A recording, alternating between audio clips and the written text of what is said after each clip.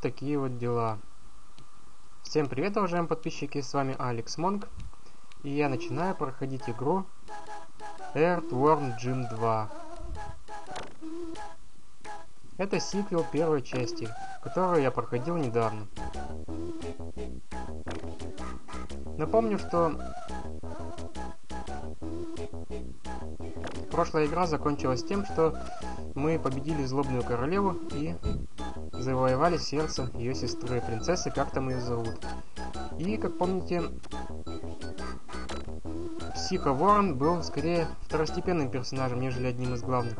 Здесь же он решил нам напакостить конкретно и похитил нашу возлюбленную, то есть возлюбленную Джима. И теперь нам нужно ее спасти. Наконец-то Псайкроу стал самый что ни на есть босс. Классная песенка. Итак, первая локация, только не мандарины.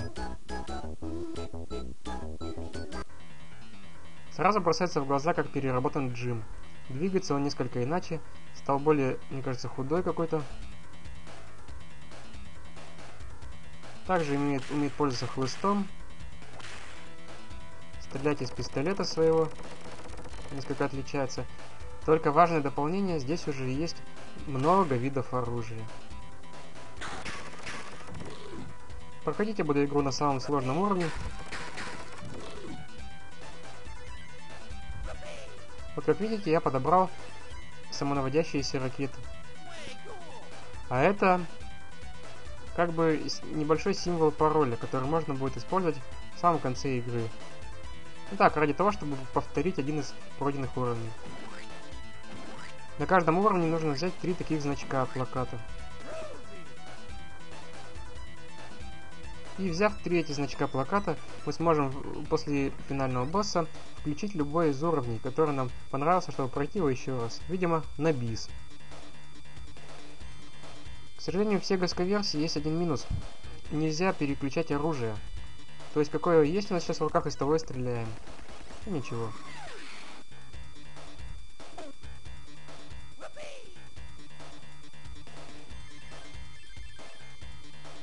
Вот еще один новый вид оружия.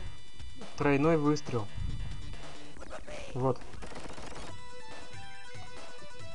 Как бы своеобразное улучшение нашего обычного пулемета. Стрельба сразу с трех пальцев. Три направления. А это свиньи.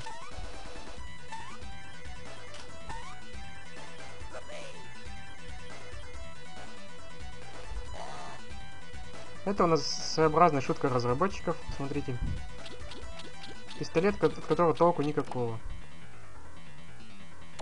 А здесь нам игра напоминает, что нужно тащить свинью, иначе... Вот. Как видите, два наших старых знакомых. Кот-качок, который был в локации вниз по трубам в первой части, и та самая рыбка. Коварная рыбка. Как бы управляющая той локации, скажем так. Босс. Все, свинью мы взяли. И несем ее к поручню. Свинья должна закрыть их своей массой. Вот так. Классно.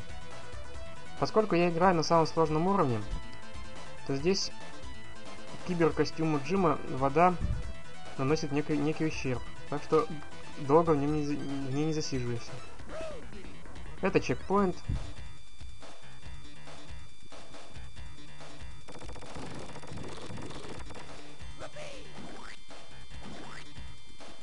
А это очень мощное супер оружие.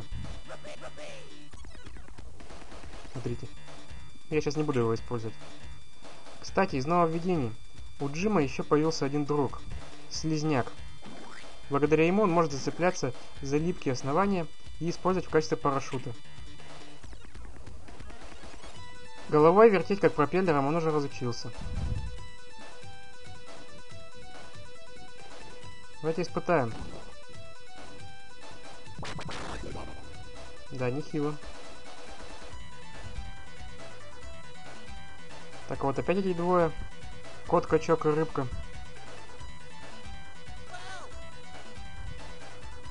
Так, он использует рыбку в качестве снаряда. Мы сделаем вот так. Хлыстом хлестнем по тому замочку. Вот и все.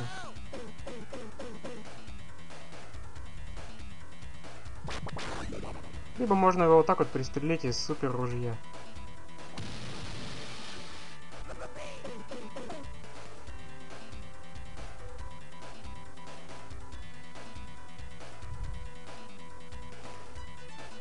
Кресло для пенсионеров. Причем нужно будет уворачиваться от самих пенсионеров. Вот так.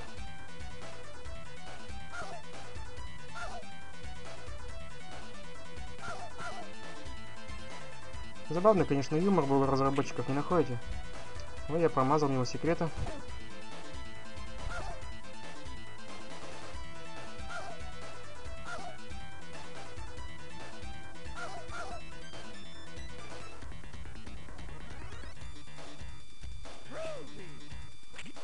Спускаемся на парашюте вот сюда и берем самонаводящиеся ракеты. Смотрите.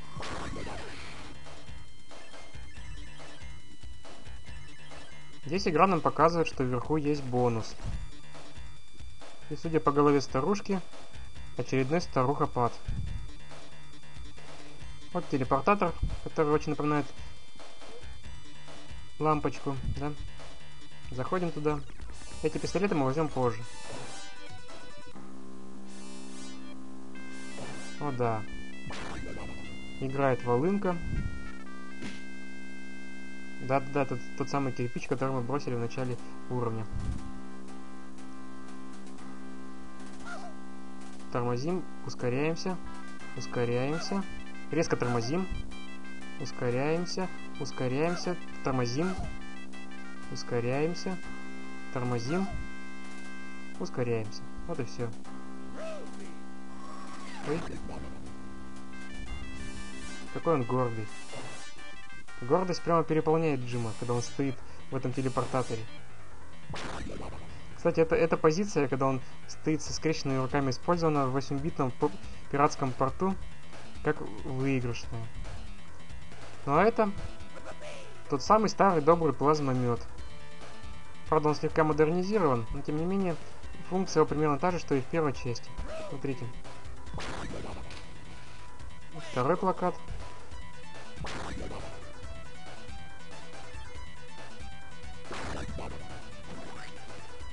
Так, водопад. От него никакого вреда.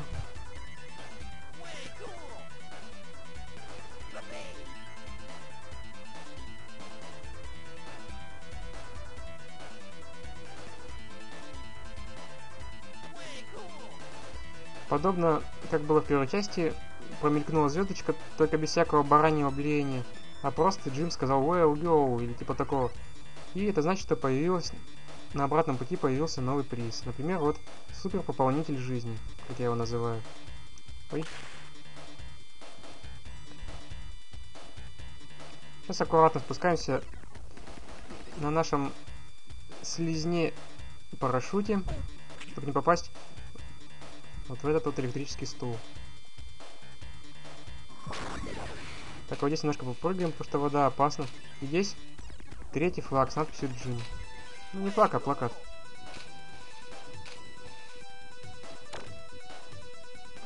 Угу.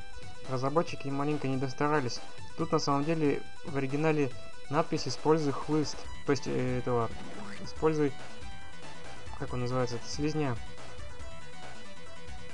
Ну, и так понятно.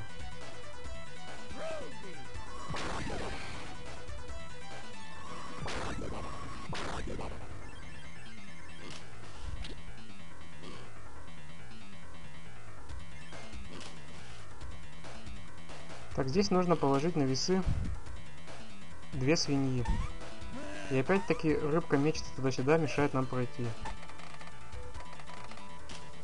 Я так понял, у нее жажда мести после локации вниз по трубам из первой части. Но прежде чем упасть, мы сделаем вот так. Да, благодаря нашему слизнию мы зацепляемся и попадаем в секрет. Берем там гамбургер, дающий сразу 200% здоровья, и боеприпасы. Боеприпасы прибавляются к тому оружию, к тому оружию, которое мы несем в руке. Жалко, здесь нельзя, конечно, переключать, как на Супер Нинтендо. Так, две свиньи есть. Так, стоп. Ой, елки-палки.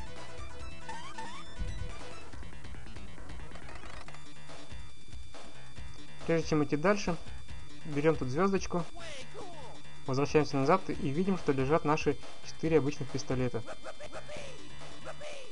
Ну а теперь реванш с рыбкой боссом.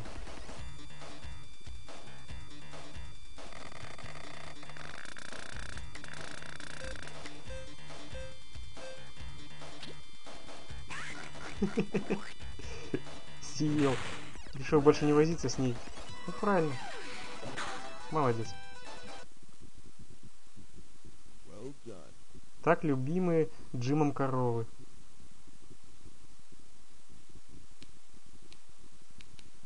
Ну все, следующая локация земля Лорензина.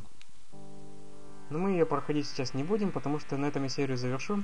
С вами был Алекс Монк, спасибо, что вы меня смотрели. Если вам понравилось мое видео, ставьте лайки, подписывайтесь на мой канал, комментируйте на форуме.